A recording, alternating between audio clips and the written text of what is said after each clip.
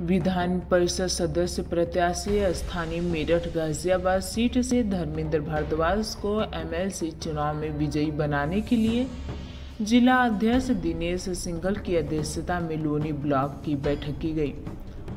कारवा marriage home पाथी में संपन्न हुई बैठक आगामी 9 अप्रैल को होने वाले विधान परिषद चुनाव में भाजपा प्रत्याशी धर्मेंद्र भारद्वाज को जिताने का आह्वान किया गया।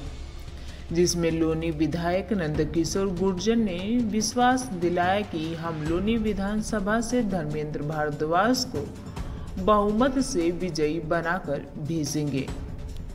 सर्वप्रथम तो मैं भारतीय जनता पार्टी के शीर्ष नेतृत्व का आभार व्यक्त करता हूँ कि उन्होंने मुझ पर विश्वास जताया। मैं उनके विश्वास को कायम रखूँगा और मैं भारतीय जनता पार्टी को अपनी माँ के समान मानता हूँ। और जहाँ तक चुनाव की बात है कि 2014 से भारतीय जनता पार्टी ने अपना स्वरूप बदला और भारतीय राजनीति पूरी की पूरी चेंज हो गई। और वो भारतीय राजनीति का संदेश आज विश्व में जा रहा है। और उस संदेश में आपने देखा होगा कि बड़े बड़े विश्व के जो देश हैं, आज वो झुकने के लिए तैयार हो गए हैं। 2014 में जीते 17 में जीते 19 में जीते 22 में जीते। तो भारतीय जान, भारतीय राजनीति का स्वरूप बदल चुका है। दूसरी पार्टियाँ कहीं भी नहीं टिक पाएँगी और मुझे नहीं लगता आगामी 50-60 साल कोई भारतीय जनता पार्टी के, के सामने टिक पाएगा।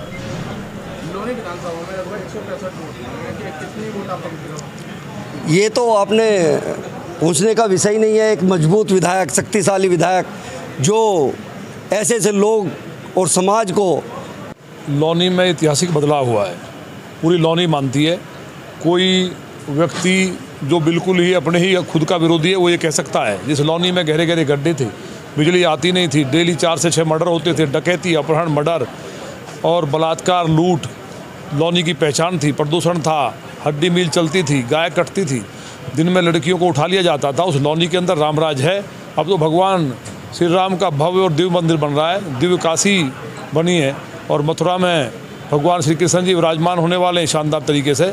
तो पूरे लौनी के अंदर राष्ट्रवादी लोग हैं और सबके अंदर एक उत्साह है कि लौनी का जो विकास हुआ है और जिस तरह से देश के यशस्वी प्रधानमंत्री माननीय मोदी जी और उत्तर प्रदेश के यशस्वी मुख्यमंत्री माननीय योगी जी के नेतृत्व में जो गरीब कल्याण के लिए योजनाएँ चलाई गई और धरातल पर उतारी गई, आज चाहे ग्राम के प्रधान हो, बीडीसी हो, चाहे सभासद हों और चाहे हम लोग या विधायक हैं या जिला पंचायत के अध्यक्ष हैं, सबके सब एक तरफा जो दूसरी पार्टियों के लोग भी हैं, वो भी भारतीय जनता पार्टी को क्षेत्र के विकास के लिए एक तरफा वोट डालने वाले हैं।